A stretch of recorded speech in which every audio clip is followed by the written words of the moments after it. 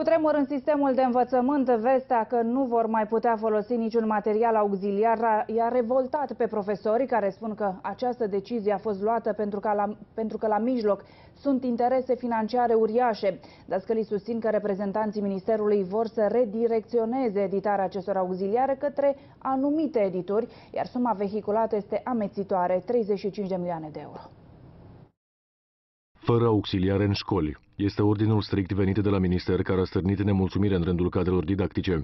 Dascălii spun că cea mai mare problemă este la clasa 5 -a, acolo unde elevii nu au nici manuale, iar pentru a le putea preda copiilor sunt nevoiți să se folosească doar de un compendiu care reunește nici 300 de pagini toate materiile copiii nu trebuie să înțeleagă nimic. Deja vorbim de clasa 5 -a. Eu nu cred că un profesor care are experiență la catedră nu poate să-și desfășoare activitatea pentru câteva săptămâni fără auxiliar.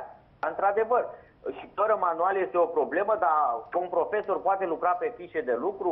Um, programa nu diferă foarte mult față de cea de care a fost în anii trecuți. Probleme sunt însă și la celelalte clase unde manualele nu acoperă necesarul de exerciții.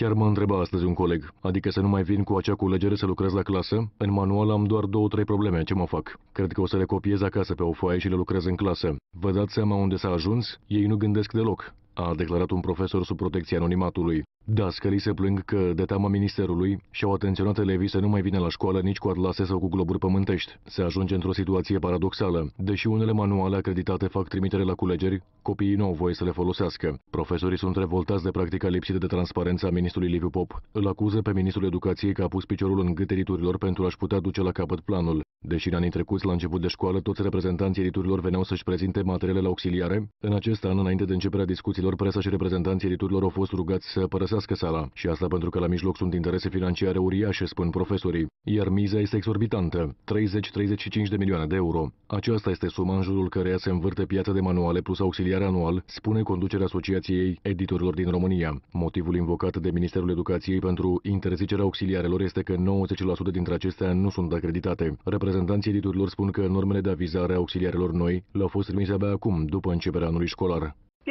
Există niște norme care sunt supuse dezbaterii, o perioadă scurtă de timp, 10 zile. Uh, partea proastă este că nu avem un, uh, un calendar aferent uh, acestor perioade și nici noi nu știm, practic, cât se va întinde, până unde se va întinde această acțiune. Practic, sigur că în cursul lunii septembrie, dar este posibil să se întindă și pe toată luna octombrie.